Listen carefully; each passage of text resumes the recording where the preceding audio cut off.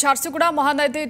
tribunal team ବା ମହାନଦୀ ଜଳକୁ ନେଇ ଓଡ଼ିଶା ଓ ଛତିଶଗଡ଼ ମଧ୍ୟରେ ଲାଗିଥିବା ବିବାଦର ସମାଧାନ ପାଇଁ ମହାନଦୀ ଟ୍ରାଇବୁନାଲ ଟିମ୍ ଓଡ଼ିଶା ଗସ୍ତ କରିଛନ୍ତି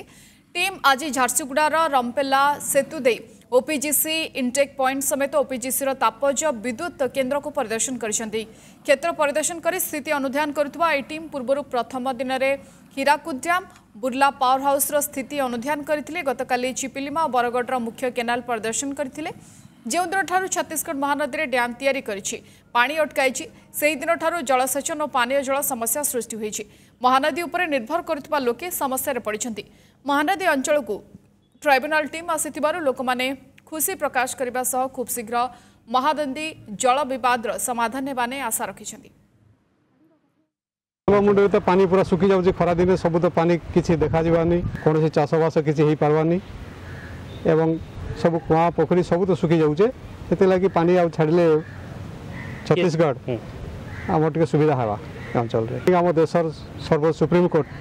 ତାର ବିଚାରପତିମାନେ ଆସିଛନ୍ କିଛି ନା କିଛି ସମାଧାନ ବାହାରବା ବାଟ ଆଉ ଯାହା ବି ବାହାରବା ସୁଫଳ ମିଳିଲେ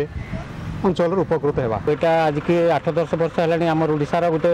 ସବୁଥିରୁ ବଡ଼ ବିବାଦ ଛତିଶଗଡ଼ ସହିତ ଲାଗି ରହିଛି ଯେଉଁଟାକି ସମାଧାନ ହୋଇଯିବ ବୋଲିକିରି ଆମର ବହୁତ ବଡ଼ ଆଶା ଅଛି